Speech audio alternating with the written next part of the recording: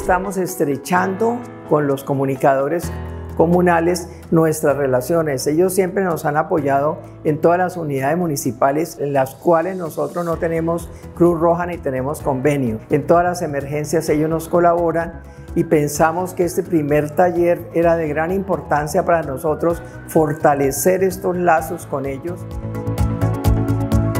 Bueno, nos llevamos unas enseñanzas muy importantes, una excelente información de todo el trabajo que hace la Cruz Roja Colombiana y el Comité Internacional de la Cruz Roja en el occidente colombiano.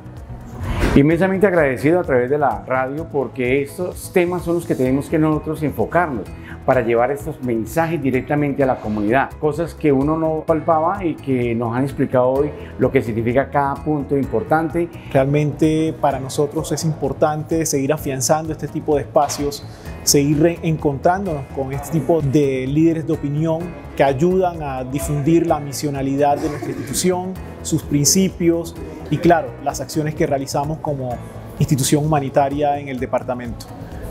De ello hemos eh, aprendido muchísimo, hemos eh, captado mucha información valiosa para la comunidad y de aquí sale mucha información que puede ser en toda la labor que hace la Cruz Roja Internacional y la Cruz Roja Nacional. Esos espacios son muy importantes porque las emisoras de radios comunitarias son los amplificadores de las voces de las comunidades. Por esa razón nos pueden ayudar a tener información sobre las afectaciones humanitarias que las personas viven en las comunidades y al mismo tiempo nos pueden ayudar en compartir mensajes informaciones útiles para las comunidades sobre eh, nuestra labor y nuestra nuestra acción en el territorio.